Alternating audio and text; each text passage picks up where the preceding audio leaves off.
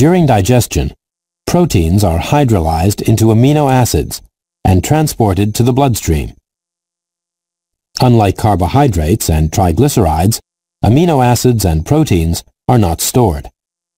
Instead, they are oxidized to generate ATP and used to synthesize new proteins.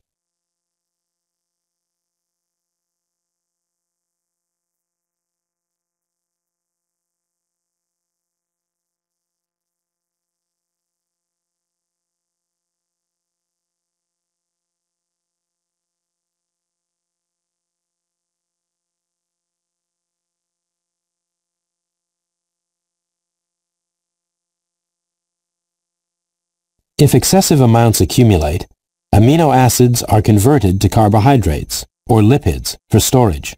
Small amounts of amino acids are converted into substances that will be oxidized to carbon dioxide and water in order to generate ATP. Amino acids in the liver cells must first undergo oxidative deamination. During this process, the amino group NH2 is removed. Deamination forms highly toxic ammonium ions.